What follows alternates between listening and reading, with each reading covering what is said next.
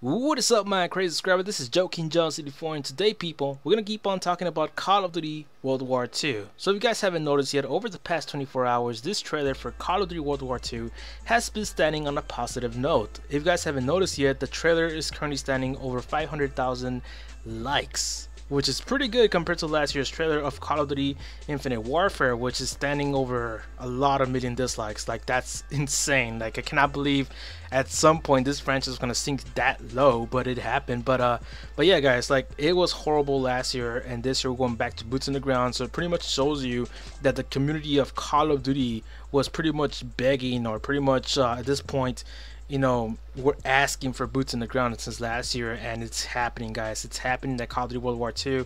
It's happening, and um, you know, a lot of people are happy about it. So this shows you that the community really wanted to go back to boots on the ground. But there's always those few, those few people that were like, um, you know, pretty much saying that. Uh, you know the futuristic was the right way to go because a lot of people were saying that Call of Duty needed to freshen up a little bit on their uh, game because they kept on releasing modern or past versions of Call of Duty. You know, like Modern Warfare, Black Ops One, and World World at War. Like that's all they were showing. Pretty much the same shooter every single year.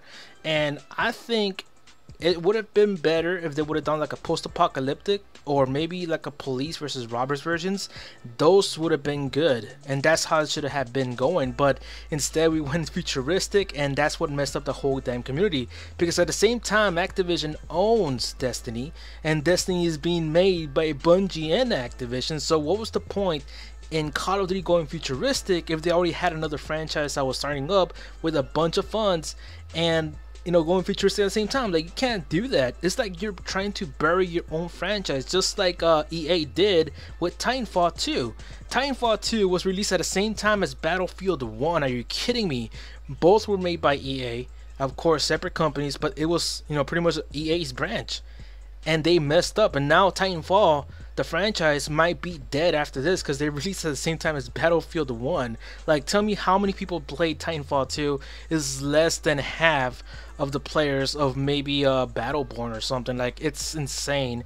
Why would they even do that? So, my argument here today, guys, is that maybe boots on the ground was always the right path to do it, you know, to do this franchise and not good futuristic. The best way to do it is just reskin it into some other kind of theme. Like, uh, the better themes you come up with, the better. Like, but do not change the concept. Do not change the formula because that's what kept the whole franchise going, and also the fan base stay here. Like, it's it's obvious at this point how how this franchise should be handled.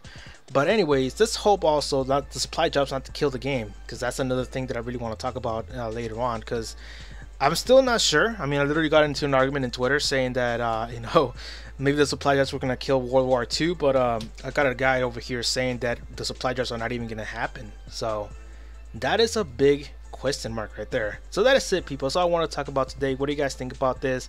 Was uh, was futuristic the right way to go, or boots on the ground? Leave it in the comment section, guys. I'll read it later.